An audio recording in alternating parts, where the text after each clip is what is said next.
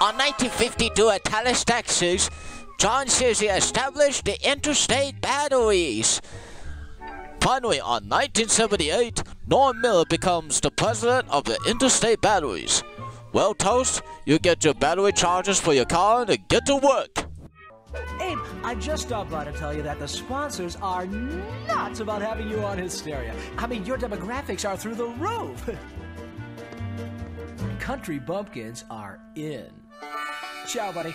No problemo, bro. I'm a full on master of disguise.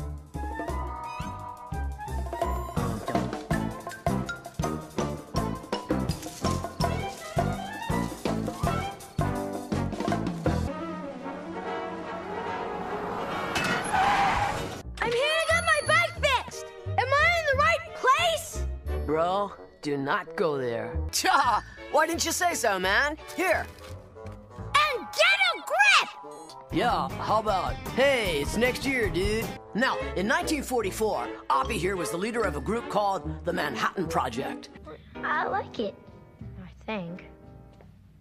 Listen, you're you're not gonna call my mom, are you? She doesn't know I'm out. Okay, maybe we'll give you a discount on some of them. Then you gotta punish the enemy leaders. Train nasty. So happy trails, Oppie. You are out of here. Thank you, thank you very much. Awesome. Hey, I'd like to thank my guest Mahatma Gandhi for hanging with me today. And speaking of hanging, until next time, I'll be hanging 10. Histeria proudly presents the interstate batteries. Outrageously dependable.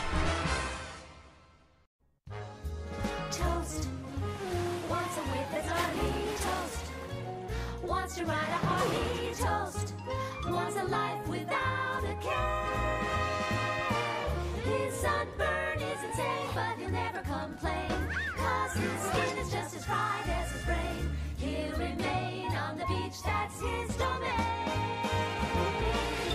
And Toast thinks thinking is nothing but a pain. Toast. 1730, Colonial Philadelphia, home of Benjamin Franklin, statesman, scientist, inventor, and really, really tired guy. He's been up all night trying to come up with clever sayings for his book, Poor Richard's Almanac, but the words aren't exactly flowing. Wind's picking up. Look at it go! Killer! It's 10 a.m.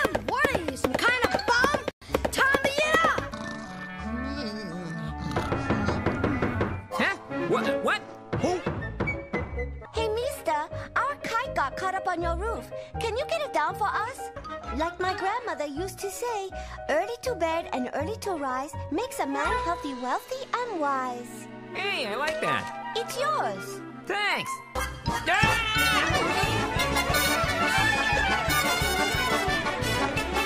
Big fat baby needs a change. He smells. Like my grandmother used to say, fish and visitors smell in three days. Yeah, I like that. It's yours. And so is he. Hey, mister, can I borrow a Bunsen burner and a jar of library paste? What for? Hey, it's personal. Go away. Nice face! That's not a vase. Nice jar! It's not a jar either. It's a, it's a priceless urn. Whoa! Check out all the pennies. Stay away from my penny collection. Ah! I got it! Nice save, dude. Like my grandmother used to say, a penny saved is a penny earned. I like that. It's yours. Thanks. Hey, we can get up to the roof through here! You are correct, sir. I found the paste and Bunsen burner. What? Oh no! What are you doing with my glasses? Sorry, I broke them, but I glued them back together. Why you? I oughta. Hey, wait. Double lenses? Bifocals? I like it. It's yours. Thanks. So, uh, what's the Bunsen burner for? Roasting weenies. Push, everybody! hi Hey, hey, what did you kids do to my stove? It looks different, bigger. Hey, I like that. It's yours! Thanks. Mm-hmm. Frankly, I'm thrilled.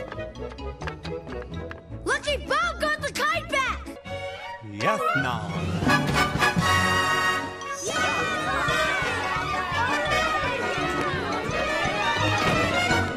Good. Where's my key?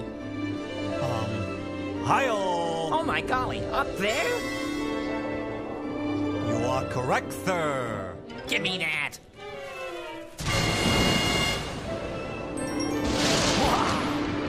Awesome, man. What, that? Why, yeah, that's just lightning. Lightning?